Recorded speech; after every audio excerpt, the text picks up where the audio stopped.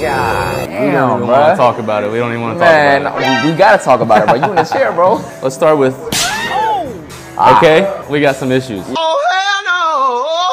I looked online and French crop Okay. came up a lot for receding hairlines. So Right, okay. I was hoping maybe something like that. My girl showed me on TikTok. So we're about two hours away. We're looking for a haircut for a wedding for my sister. And so she showed me you and it was a done deal. You said two hours, right? Where, uh, Where's that from? Oh, where Stanton you, area. Stanton.